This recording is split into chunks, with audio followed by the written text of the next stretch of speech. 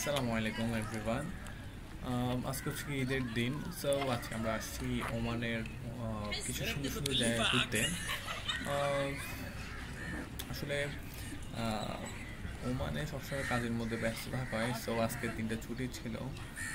So আজকে এবং কালকে আমরা দুদিনই ঘোরার একটা প্ল্যান করেছি। So let's start